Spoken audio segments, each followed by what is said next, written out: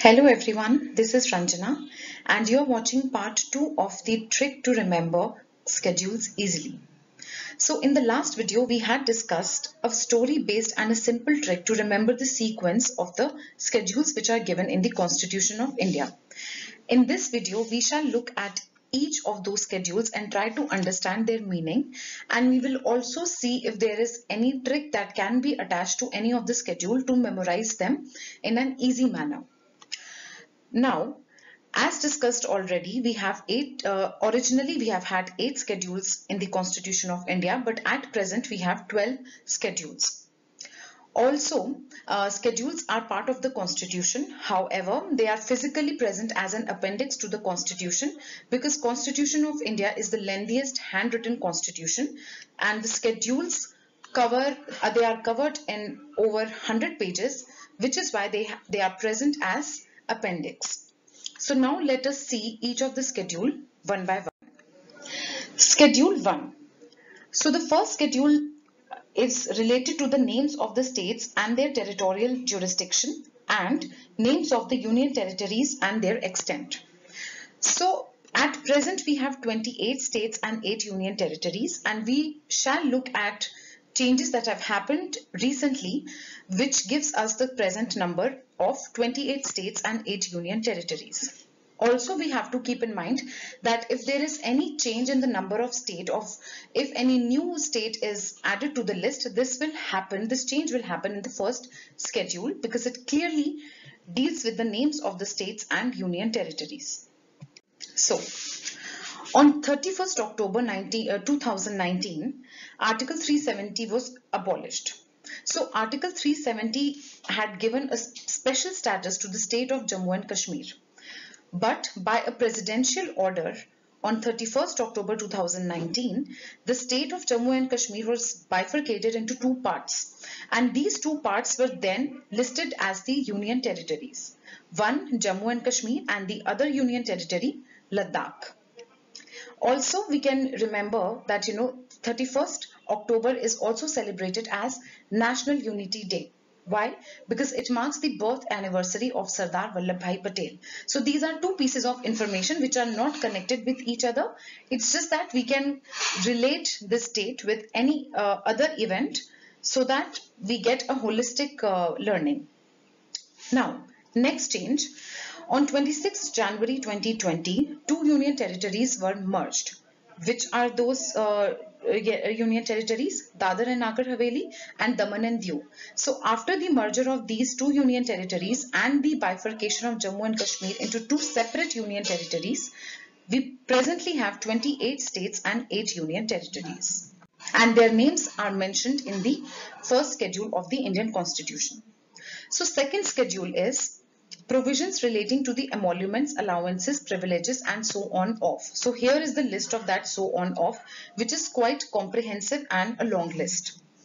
So what do we mean by emoluments? These are salaries. So salaries of these given offices and the privileges and allowances are mentioned in the second schedule.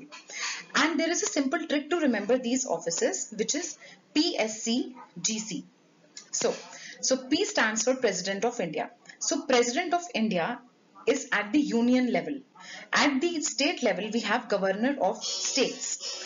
So we can, we can remember, if we remember President of India, we can also connect it with governor of states. Now next is S. S stands for Speaker and Deputy Speaker of Lok Sabha. Now, at the union level, we have Lok Sabha.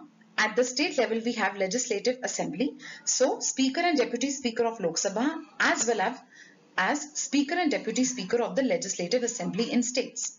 Next is C. Chairman and Deputy Chairman of the Rajya Sabha. We have Rajya Sabha at the union level and we have Legislative Council at the state level. Hence, we can remember these two as Chairman and Deputy Chairman of the Rajya Sabha, Chairman and Deputy Chairman in the Legislative Council in the states. Now J stands for judges. At the union level we have Supreme Court, so judges of the Supreme Court. At state level we have High Court, so judges of the High Court. And C stands for CAG, which is Comptroller and Auditor General. So in this schedule, we see that provisions related relating to the emoluments, allowances and privileges of these particular offices are given. And how do we remember the list of this particular uh, list of offices? PSC JC. And when we are uh, elongating and elaborating on each of these uh, of these letters, we can connect each letter at union state as well as at state level. Now, going on to third schedule. Third schedule talks about forms of oaths and affirmations. So oaths are taken by people who believe in God and affirmations are, are taken by people who are non-believers. So these oaths and affirmations of some offices, not every offices that is there in the union and uh, state level, but nine of these offices, for nine of these offices, forms of oaths and affirmations are given in the third schedule. Now, how can we remember if we need, if if we remember these, if we can memorize these uh, these offices, then it's fine. But if you want to remember them by using a trick, then the trick is MCMJC.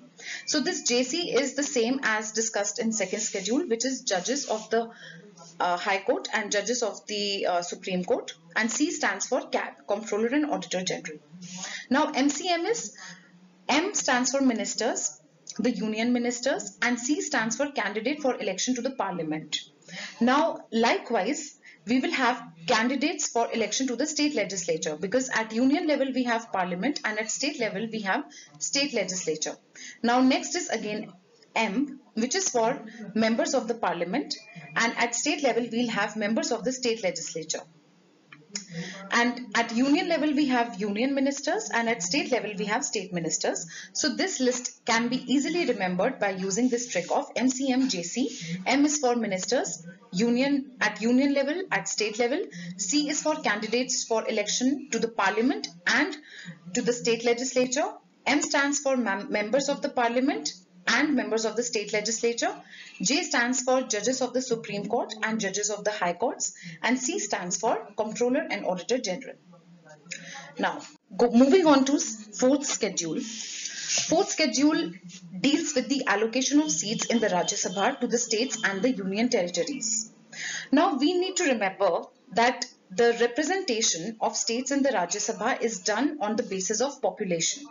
So uh, the state with maximum population in India will have maximum representation in the Rajya Sabha. This system is uh, in contrast or is different from the system that is followed in the Parliament of the United States of America, wherein Rajya Sabha, their Rajya Sabha is called Senate and each Senate has two members from each of the state. But in India, Rajya Sabha has members uh, in the uh, member in its house which is proportional to the population of each of the state. Now, fifth schedule deals with provisions relating to the administration and control of scheduled areas and scheduled tribes. So, in India, except for four states, and we'll see what those four states are. So, except for those four, four states, every other scheduled area and scheduled tribe present in any other state, their provisions uh, relating to the administration are given in the fifth schedule. And why is this done? To preserve the heritage, culture, culture and tradition of these tribes. Now, as mentioned, there are four states which are not included in this schedule. And which are those states? So if we if we remember by the trick that we had discussed in the previous video, ATM make. So this is Assam, Tripura, Mizoram and Meghalaya. Provisions relating to the administration of tribal areas in the states of Assam, Meghalaya, Tripura and Mizoram are given in the sixth schedule. Why has this happened? Why do we not have uh, the provisions relating to these states in the fifth schedule? Because these tribal areas in these states they have very distinctive culture and to give them a special status or to bifurcate them for other for from the rest of the tribal areas they have been included in the sixth schedule now going on to seventh schedule. Seventh schedule deals with division of powers between union and the states in terms of list. So we have three lists, union list, state list and concurrent list. So union list will have those subjects on which laws can be made by the parliament that is the union uh, by, by, by the government at union level and at state uh, and the state list will contain laws which can be made at the state level and concurrent list will contain those uh, subjects on which the laws can be made by both union and the states. However the overall shift will be tilted towards the union in case of concurrent list. So this is a very these are very comprehensive lists. But just to give you an idea the union list will have issues of national importance for example defense of india foreign affairs railways and foreign loans. And state list will have uh, those subjects which are concerned with the with those states locally for example, police, fisheries, industries and agriculture. It is very important to note that agriculture is a subject mentioned in the state list and not in the union list. And concurrent list has subjects like electricity, factories, drugs and poisons. So, so this is not the complete list. The complete list can be found in any book that uh, any book on Indian polity. Now moving on to eighth schedule, uh, we have at present 22 languages recognized by the constitution. And the list of these 22 languages is given in the 8th schedule. So this is that list. And originally there were 14 languages. And later on some languages were added. And the trick to remember those languages is that through 21st Amendment Act Sindhi was added. And through 71st Amendment Act Konkani, Manipuri and Nepali were added and through 92nd Amendment Act, Bodo, um, Maithili, Santhali and Dogri were added. So the trick to remember them is 21st Amendment Act plus 71st Amendment Act give, gives 92 and S KMN Bodo Masi. So Bodo is Bodo, Dongri, Maithili and Santhali. KMN Konkani, Manipuri, Nepali and S is Sindhi. So originally we had this much schedules in our constitution, eight schedules. Now the remaining four schedules have been added by the Constitutional Amendment Act. Because they were added by Constitutional Amendment Act, we can clearly say that schedules are very much part of the Constitution of India. Now let's have a look at the ninth schedule. So ninth schedule was added by the very first constitutional act in 1951 and this was done to introduce certain land reforms for the abolition of zamindari system. This was done uh, in order to, uh, to, to kind of uh, remove and help the farmers uh, the burden of the zamindari system that was given on them. Now moving on to 10th schedule, it has provisions relating to the disqualification of the members of parliament and state legislatures on the ground of defection. For example, if there is uh, a member in the parliament from a particular party and after winning the election they get a seat and then they move on to some other party then they their seat can be disqualified on the basis of defection.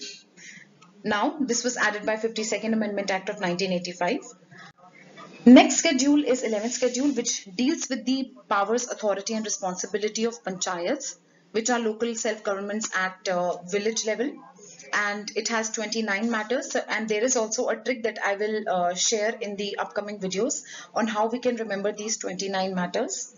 Now last schedule deals with powers, authority and responsibilities of the municipalities which are local governing bodies in the urban areas and this was added by the 74th Amendment Act of 1992. So I hope that uh, some of uh, the information and uh, the facts and provisions given in these schedules have been clear uh, through this video. And in the next videos I will make uh, uh, make a story based or a trick based uh, lesson on how we can remember parts of the constitution.